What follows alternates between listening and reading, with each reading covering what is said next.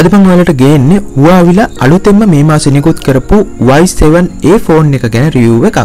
Y7A phone එකේ box එක වලට මෙන්න මේ විදිහට බලා ගන්න පුළුවන්. හොඳයි අපි බොක්ස් එක ඕපන් කරලා බලමු මොනවද තියෙන්නේ කියලා. බොක්ස් එක ඕපන් කරාම ওই විදිහට Y7A device එක මෙන්න මේ විදිහට බලා ගන්න පුළුවන්. ඒ වගේම device එක උඩ ෆෝන් එකේ specification ගැන විස්තරයක් තියෙන ස්ටිකර් එකක් මේ විදිහට බලා ගන්න පුළුවන්. ඊට පස්සේ ඔයාලට සුපුරුදු විදිහට SIM ejecting tool එකත් power charging adapter එකත් මේ විදිහට බලා ගන්න පුළුවන්. USB type C cable එකක් තමයි අපිට box එකේ බලා ගන්න පුළුවන් වෙන්නේ. ඒ වගේම earphone දෙකත් මෙන්න මේ විදිහට බලා ගන්න පුළුවන්. ඩිවයිස් එක ගැන කතා කරොත් ඩිවයිස් එකේ යට පැත්තේ අපිට මෙන්න මේ විදිහට ස්පීකර් එකක් Type C port එකත් ඒ වගේම 3.5 mm headphone jack එකත් බලා ගන්න පුළුවන්. ජැක් එකට එහා පැත්තේ යාලා බොටම් මයික් එක මෙන්න මේ විදියට අපිට ෆෝන් එකේ යට පැත්තේ බලා ගන්න පුළුවන්. ෆෝන් එකේ රයිට් සයිඩ් එක ගැන කතා කරොත් සයිඩ් මවුන්ට් ෆින්ගර්ප්‍රින්ට් එක වගේම වොලියුම් රොකර්ස් අපිට බලා ගන්න පුළුවන්. සයිඩ් මවුන්ට් ෆින්ගර්ප්‍රින්ට් එක ගැන කතා කරොත් ඒකේ තියෙන විශේෂත්වය තමයි අපිට තප්පරෙන් 10ක් එකක් වගේ ඉතා කුඩා කාලෙකින් අපේ ෆෝන් එක අන්ලොක් කරන්න පුළුවන්.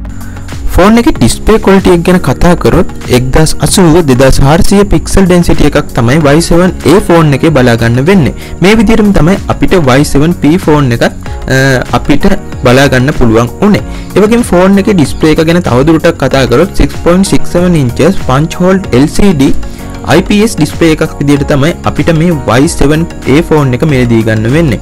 ඒ වගේම චිප්සෙට් එක කතා කරොත් Huawei අපිට Y7P එකේදී අපිට හඳුන්වා දුන්න කිරින් 710A කියන චිප්සෙට් එකම තමයි මේ ෆෝන් එකේදීත් අපිට යූස් කරන්න වෙන්නේ. ඒ වගේම 4GB RAM එකක්, ඒ වගේම 128GB ස්ටෝරේජ් එකක් අපිට බලා ගන්න පුළුවන්. Y7A ෆෝන් එකේ අපිට Y7P ෆෝන් එකට වඩා ගොඩක් හොඳ ඒ කියන්නේ දෙගුණයකට සමාන ස්ටෝරේජ් එකක් බලා ගන්න පුළුවන්. ඊට අමතරව SIM ගැන කතා කරොත් අපිට Y7A ෆෝන් එකේ ඩුවල් SIM පහසුකමත් මෙමරි කාඩ් එකක් ඇඩ් කරන්න පහසුකමත් එයාලා අපිට හඳුන්වලා දීලා තිනවා. එයාලා අපිට මීට කලින් නිකුත් කර Y9 Prime ඒ වගේම Y9S වගේ ෆෝන් වල මේ විදිහට මෙමරි කාඩ් එකක් ඇඩ් කිරීමේ පහසුකම අපිට එයාලා ලබා දුන්නේ නැහැ. ඒ වගේම ෆෝන් එකේ කැමරා සෙටප් එක ගැන කතා කරොත් Y7 P ෆෝන් එකේ තිබුණු වගේම 8 මෙගාපික්සල් ෆ්‍රන්ට් කැම් එකක් තමයි අපිට එයාලා Y7A ෆෝන් එකෙත් හඳුන්වලා දීලා තින්නේ. ඒ වගේම මේ ෆෝන් එකේ ෆින්ගර්ප්‍රින්ට් සෙන්සර් එකට අමතරව ෆේස් ලොක් එකනුත් ෆෝන් එක අන්ලොක් කිරීමේ පහසුකම එයාලා මේ ෆෝන් එකේදී අපිට හඳුන්වලා දීලා තිනවා. ඒ වගේම ෆෝන් එකේ බෑක් කැම් එක ගැන කතා කරොත් බෑක් කැම් සෙටප් එකේදී 48 මෙගාපික්සල් AI quad cam එකක් තමයි මේ cam setup එකේ අපිට බලා ගන්න පුළුවන්. ඊට අමතරව මේන් කැම් එක 48 මෙගාෆික්සල් කැම් එකක් අපිට බලා ගන්න පුළුවන්. ඒ වගේම Y7P එකේදී අපිට තවත් කැම් තුනක් ඇඩ් වෙලා තිනවා. ඒ කියන්නේ අපිට Y7P එකට වඩා අලුතෙන් කැම් එකක් මේ Y7A series එකේ බලා ගන්න පුළුවන්.